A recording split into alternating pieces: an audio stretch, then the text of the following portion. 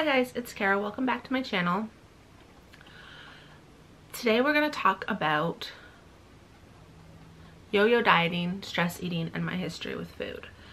So basically, I prior to 2019, 2020, I had no idea that I was a stress eater, an emotional eater, um, that I ate my feelings, that I bored ate. I just was eating bad food. I wasn't tracking my calories.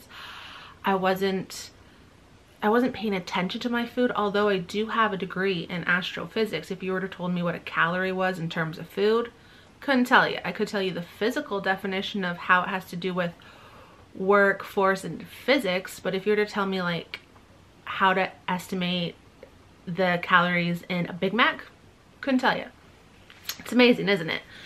Just so ignorant, if that's the word. And it's not just me, my whole family has a history with food. Um, with confusion about food, calories, counts as calories, stuff like that. So it wasn't until about 2020 that well I've always been big. I've always struggled with my weight. Just didn't know why. I didn't like exercise. I was that kid in softball when I was little who played in the grass in the outfield instead of actually playing the game. Yeah I did that. Um so I was always bigger but so was my whole family except the cousin who was miraculous miraculously could eat anything he wanted and was 80 pounds soaking wet. Maybe he's 100 now. I don't know. He's very, very skinny still. Um, little jealous, yes.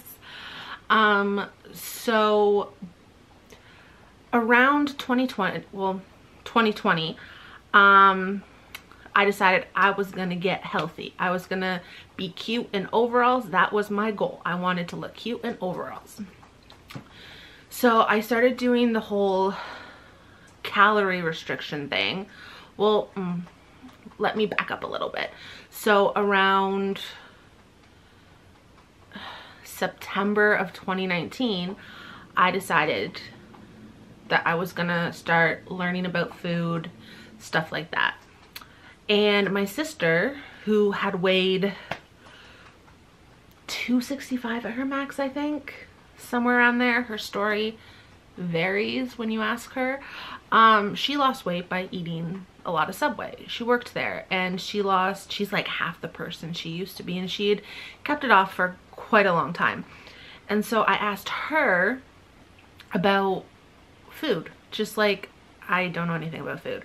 So she told me to eat two to 300, maybe 400 calories several times a day to never let your body be hungry, to always use it as fuel. You couldn't think of it as entertainment anymore. You couldn't think of it as, oh, I'm going to have fun with my friends by going out to dinner anymore. You just had to look at food as fuel. And I was eating, I started that. I was eating almonds, apples, stuff like that. The classic healthy food. Um, two to 300 calories several times a day. And I was always hungry. I don't know why. Like I just, I was always hungry. It wasn't, I hated what I was eating. Um, I did find some good things like these banana oatmeal pancake things that I would make. Those were delicious. I still eat those. Um, and I lost a little bit of weight, but then I just gave up. I just, I gave up. And so uh, by probably November. And then in 2020, my New Year's resolution was to fit into overalls, look cute in them. So I started calorie counting, writing stuff down to help. Um, and I also had a weight loss buddy, buddy her name, um, that I was in school with. And her name was Lauren. She also wanted, she wanted to lose 20 to 25 pounds. So we would calorie restrict, do really good on the weekends, or sorry, pretty good throughout the week. for a couple of weeks and then we'd reconvene on a Monday and we would talk about how we basically binge ate. Um, and I did that for about a month and a half, almost two months, and I had only lost 14 pounds, which is not nothing. It was more than I had ever lost before, but that was cool. Um, but I didn't want to binge. I didn't want to feel bad about eating Eastside Mario's. I didn't want to be feel bad about eating a burrito. I didn't want to feel bad about eating mayonnaise because I love Miracle Whip. It's amazing on eggs. Love it. So what I started, I had heard about intermittent fasting a few months back about this um, this chick at um, Indigenous Services at school. Um, she said she intermittent fast. She ate four hours a day and fasted for 20 and I was like that's insane that's literally insane that was my thought and just blew it off and then on February 24th of 2020 um I found Rachel Sharp. And she made it seem very easy. And she her videos convinced me and much with a lot of research spent the entire night researching that alternate day fasting was for me. So February 25th I started. And from January to March 20th when you know when the world shut down because of the pandemic um, I lost 43 pounds keep in mind that I only lost 14 pounds from January to February 25th so I lost a significant amount of weight doing alternate day fasting. And it was it was fantastic. Like um, I had the discipline. I started drinking water again. I hate water. We can talk about more of that in another video. It's flavorless, colorless, nastiness. It's I don't like water. I like I like juice. I like juice. So um and then the world stopped. I wasn't able to go to class. I wasn't able to do research as I was. I wasn't able to do my routine. And then since I started hanging out more with a friend that I would play Pokemon Go with, we kind of quarantined together during lockdowns and stuff. And he made me realize like some of the stuff you do isn't normal. It's just not normal. And it turned out in the pro uh, through um, talking to him and through um, telephone appointments, etc., I had a form of OCD. And with all of my routines being thrown out, I turned to food because I had no idea what to do. I am get very flustered, very stressed without a plan, without schedules, um, stuff like that. So um, I was eating a lot more. It was like um, the effort mentality of I didn't eat. I was supposed to fast today, but I didn't. I just had a bunch of takeout. I'll do better tomorrow because I, one of the girls I was in a Facebook group said, um, just if you if you mess up, just continue on with plan. And I wanted eat fast, eat fast in my book. So I would just eat normally the next day, my new normal, which was homemade food, healthier stuff. Um, but then, and I would go for walks. I was walking a lot at this time. I would be up by like 6 a.m. and walk 14 kilometers. I had my little routes.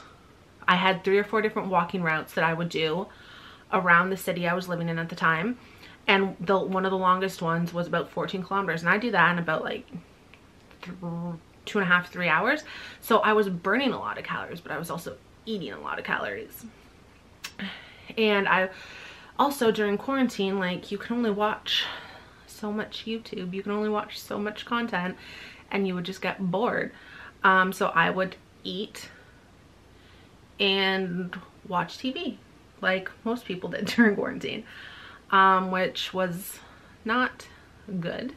Um, so I was bored eating. I was, I didn't realize I was stress eating at the time, not until I basically snapped a few times. Um, and we'll get into that. Um, but I didn't realize I was doing this until I started, I realized like that I knew I was messing up with food.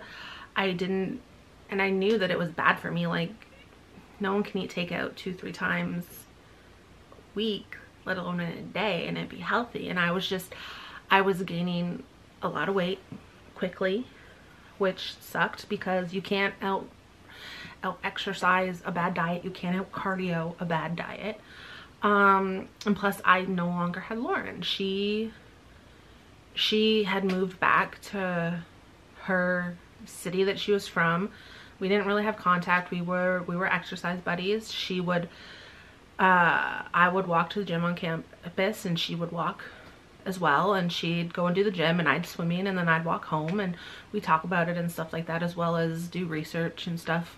We were, we were friends and it was just stressful because I'm very much introverted and I very much have only a few friends and it was rough not having her around. We did everything together at that point. Um, and it wasn't until I was walking along a trail one day and I was listening to music as usual, just ex just going out for a walk, my usual route, one of them. And this, she must have been 10, 12, maybe not even that. Kids look, kids ages, they look young, so I don't know. But she was with her with her mom and I was flipping through music at the time so I could kind of hear what they were saying. She was complaining about learning how to run. Her mom, who was very skinny, very, very skinny, was running and she was telling her kid that the reason why she has to learn how to run is so she doesn't end up looking like me. Well she didn't say looking like Cara. She's like so you don't end up like that lady over there. And I was the only one on the trail. So I knew. And something it almost snapped in my head I'd never felt this feeling before where it was I immediately turned around walked home ordered a pizza and I had never ordered more than a small pizza to consume by myself. And I had never more ate more than half of that small pizza by myself. But I ordered a large pizza and I ate all but two slices and I was so ill. I just laid on my couch until I didn't feel ill anymore. And I was like, I can't, I have to get this pizza out of my apartment. So once I was able to walk again without feeling like I was going to vomit, I went to take it down to the garbage room and as I was walking down the hallway towards the garbage room, well actually towards the elevator to get to the garbage room, these two guys who I'd never seen in my apartment before, as I walked by, one of them mooed at me. They He literally mooed, which was so rude. Like I waited, I turned into the laundry room and waited until they, a substantial amount of time until I knew they had gone. And I turned around and went back to my apartment, my unit, and ate those two slices of pizza. I also ate a whole bag of Doritos that were in my apartment and chocolate chips. And I was still, I was not feeling well, but I felt that I needed ice cream. I needed ice cream. So I walked to the variety store. Don't even know why. I wasn't feeling well. I need this damn ice cream went and got two drumsticks, came back and ate them all. And I just, I didn't know. And from then on, I was just, whenever my sister and I get into an argument, I was feeling bored, I was feeling sad, I was feeling depressed, I would eat a bunch of calories. Just a bunch of calories. Like for, like it lasted for two to three weeks. And then I got back on track started losing again, you know, walking, eating homemade food, um, counting calories again, actually writing down what I was eating because I wasn't embarrassed about what I was eating. And um, then I, prior to 2020, I had never not worn jeans. All I would wear was jeans. I was comfortable in jeans. And um, Lauren is like, you need, if you want to start working out, you need a cute workout outfit. So I'd never worn leggings before except like when I was little in the 90s and my mom would dress me up to go to school and stuff like that. But as an adult, as a teenager, I would never wear leggings. I, I was too fat to wear leggings. Still too fat to wear leggings to be honest. Um, but so I went, the only place I knew where to get leggings was Lululemon and I'm not going to Lululemon, no. Or Fabletics. So I bought some Fabletics and I was wearing them. I would, because I was also wearing out my jeans with um, Chub Rub. We all know what that is. We don't have to explain it. Um, wore out two pairs of jeans walking that way from that. So I also, I was like, it's a good idea. So I ordered some outfits from Fabletics and I was out walking um the middle of the day like two three weeks after this whole pizza incident um and I was I was waiting at a crosswalk to go home because I lived in downtown like the downtown area what was is called Richmond Row. Lived a couple blocks of that. I'm a downtown dweller. And this lady had the audacity to come over from the bus stop as I was waiting and she told me that my outfit, which was leggings and an oversized sweatshirt, my body was not conducive and it wasn't flattering to my body. I had never seen this lady before in my entire life and she just had the nerve to say that. It was again, something in my brain just snapped and I walked past the turn that was turning into my to my street, walked to my favorite burrito place, got a large burrito, a quesadilla. While those were, I was waiting for my order to be ready, I went to the Starbucks, got a large Frappuccino, which is loaded with calories, and then also went to the variety store and got chips and dip. Went back picked up my mexican food went back to my apartment and ate it all one sitting and was feeling ill. And after that anytime i was stressed i would eat i i had never experienced it before like i needed food to calm me down what what i liked was vanilla Coke with Smartfood white cheddar popcorn. That was my jam. I loved it so much. I love vanilla Coke. Um, and since then, I've been struggling. Um, I'd be able to fast a day or two here, um, maybe a week, and then I'd fall off. And then especially with the stress of school, with research for my thesis, um, and plus just the added stress of life I I went from I started at 298 and I was at what I was at 255 I was so close to my first goal at 2 250 and over a year, year and a half, I gained all of it back, plus 26 pounds. Um, so I had stopped posting accountability shots on Instagram. I wanted to start a YouTube channel back then about fasting because I was very passionate about it. I loved it. I loved it. Um, it felt good to have an empty stomach. It, I was proud about how much water I was drinking because I, I, would, I wouldn't drink water prior. But I just, I didn't. I was too afraid to start a YouTube channel because I, I was failing. I wasn't doing what I set out to do. Um, and uh, along the way, I was talking to a therapist. It was about other issues, but we talked about food a lot and that's how I discovered that I was eat emotional eating. I was eating my feelings. Um, I knew I discovered the bored, boredom eating with quarantine like we all did, right? That's why they call it the quarantine 20, right? Um, and so now I'm just trying to struggle with that. I was trying to deal with that. Um, the past couple weeks has been stressful.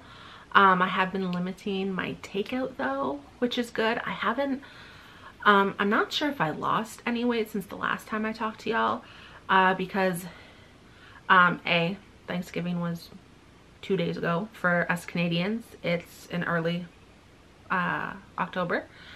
And um, I haven't been fasting, but I've been trying to limit my takeout, stuff like that. I'm limited to one sweet a day because I do have a sweet tooth and unfortunately I have a salty tooth too, which is never good.